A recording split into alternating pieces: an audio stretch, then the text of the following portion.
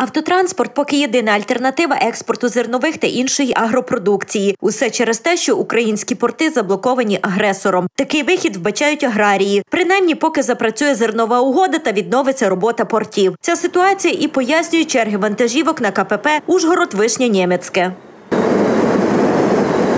Кукурудзу в Словакії. Давно стоїте велика черга. Вчора. на Словакію. Черга велика, довго стоїте. Вже сутку. Стоїмо. Без черги зерновози не пускають. Ні. Черга стоїмо, ну що, яка ситуація. Слабо їдете. Ми возимо постійно. Як часто їздите, возите? Два рази в неділю. І так, по дві сутки в черзі, так. зернові. Ну, порти заблоковані, знаємо, пустили автомобільним транспортом, тому така черга. Скільки стоїте в черзі? Це друга доба вже.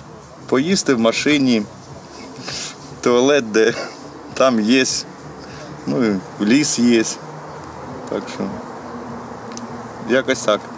Ясно. А нема зеленого коридору для агропродукції? Ні, тільки бочки. Стоїм, як всі. У прес-службі Закарпатської митниці запевняють, у зоні митного контролю інспектори максимально швидко оформляють та пропускають зерновози. Для перевізників створено зелені коридори та виведено окрему смугу у пункті пропуску, де проводиться першочергове оформлення зернових культур.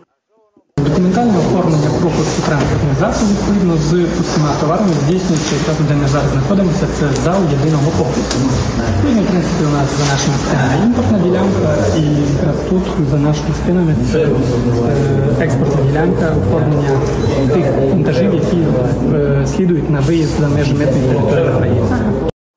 900 тисяч тонн агропродукції вже вивезли до країн Євросоюзу через закарпатську митницю. Тут кажуть, попри обмежену пропускну спроможність пунктів пропуску, оптимізувати роботу вдалося завдяки співпраці із керівництвом обласної влади та прикордонними відомствами країн-сусідок.